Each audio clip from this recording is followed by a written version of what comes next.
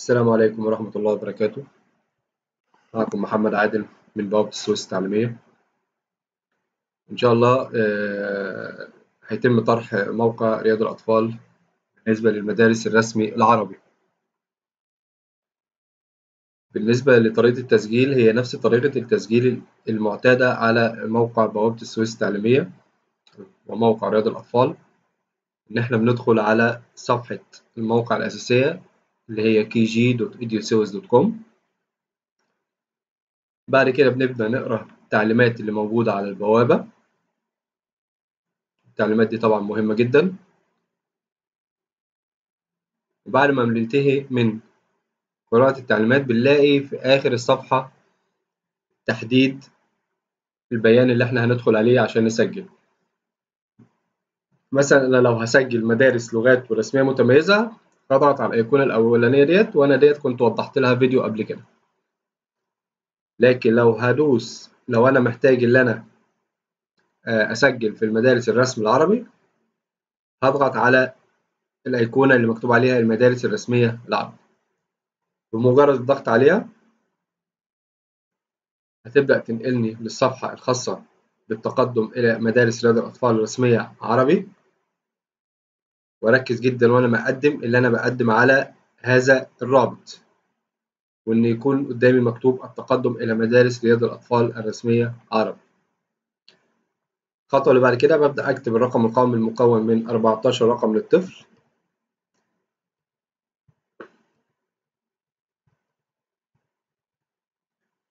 فكمثال الرقم القومي اللي إحنا كتبناه دوت.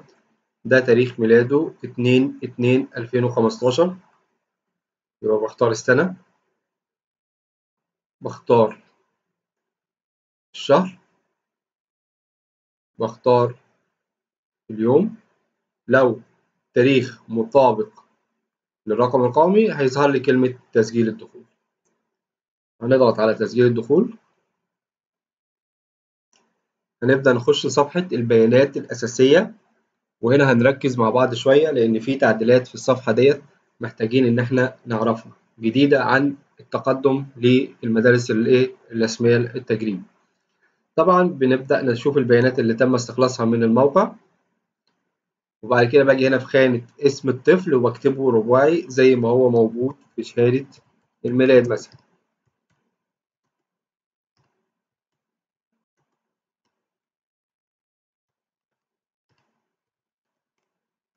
طبعا لازم يكون باللغة العربية.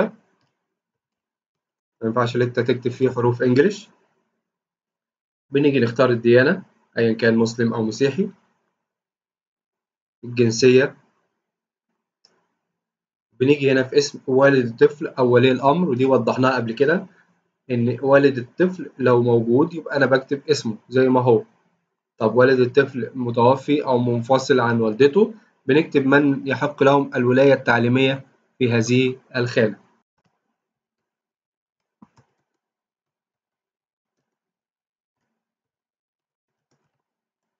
بعد كده بنكتب رقم تليفون الوالد أو ولي الأمر.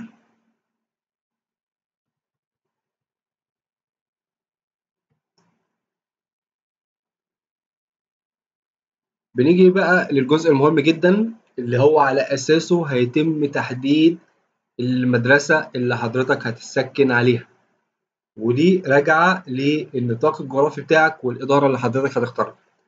فكمثال أنا دلوقتي لو أنا اخترت إدارة جنوب أو شمال أو جناين لما أختار أي إدارة من دول هتبدأ تظهر لي الأحياء والمناطق اللي تابعة للإدارة دي.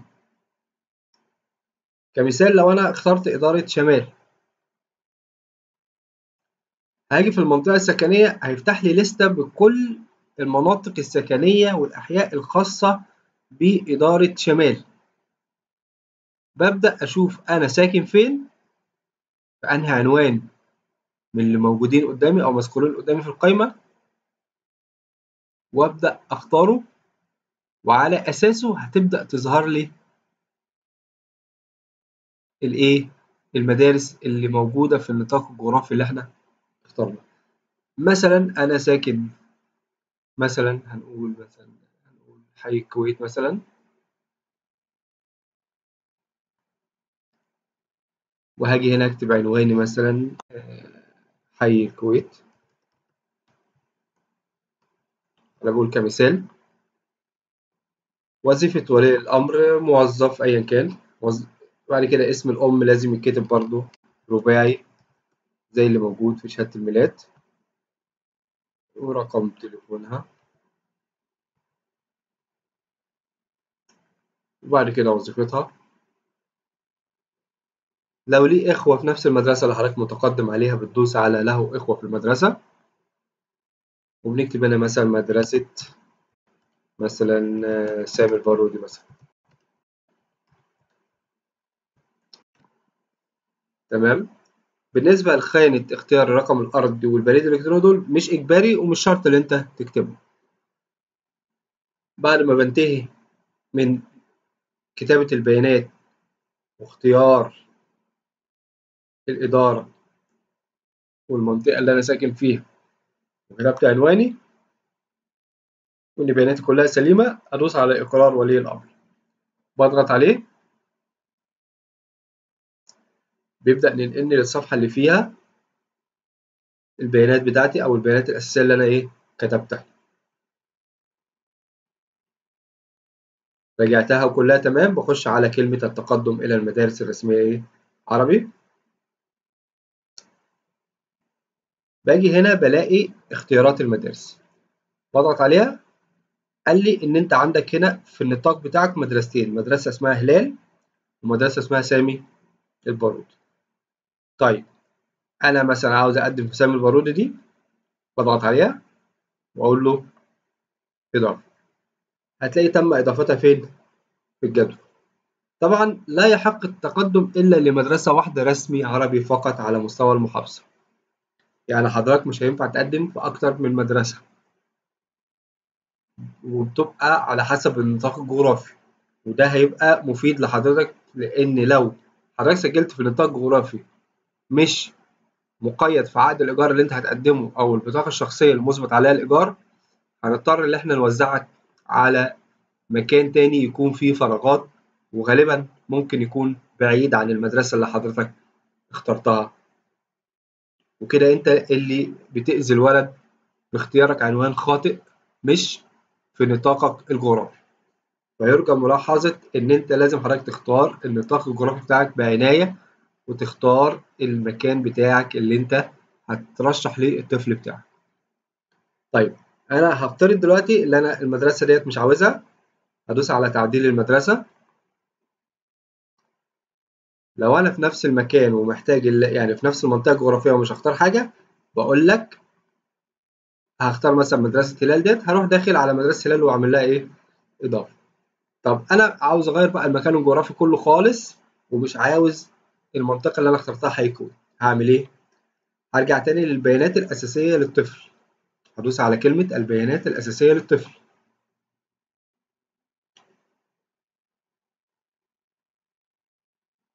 هتلاقيك رجعك على عرض البيانات الأساسية المتقدمة للطفل إيه؟ المتقدم. هاجي على الأيقونة الحمراء ديت اللي هي عملية تحرير أو تعديل البيانات. بضغط عليها. هرجع تاني للجزء الخاص بالمنطقة.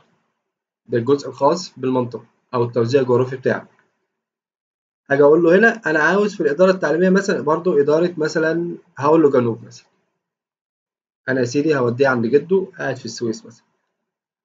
لما اخترت إدارة جنوب هيظهر لي برضو أسامي الشوارع والأحياء اللي موجودة في في إدارة جنوب. طيب أنا ساكن مثلا في الغريب أو جده مثلا ساكن في الغريب. خلاص كده؟ اخترتها؟ هروح راجع تاني عامل إيه؟ حفظ أو تحديث للبيانات. ضغطت عليه أرجع تاني أتأكد إن هو المنطقة اسمها إيه؟ الغريب اللي أنا اخترتها. أخش تاني على التقدم. هلاقيه تلقائي حذف لي المدرسة اللي أنا كنت اخترتها. هرجع تاني اختار إيه؟ المدارس. هلاقي عندي ان مترشح لي في الغريب مثلا صلاح الدين والشهيد عبد المنعم. عثمان.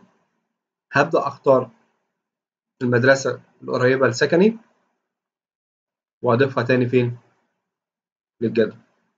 كده أنا يبقى انتهيت من اختيار النطاق الجغرافي واختيار المدرسة. كده أصبح بإمكانك بعد ما اخترت المدرسة وإن أنت ضفتها للجدول وظهرت بهذا المنظر إن أنت تقدر تعمل طباعة لبيانات الطفل اللي حضرتك عامله.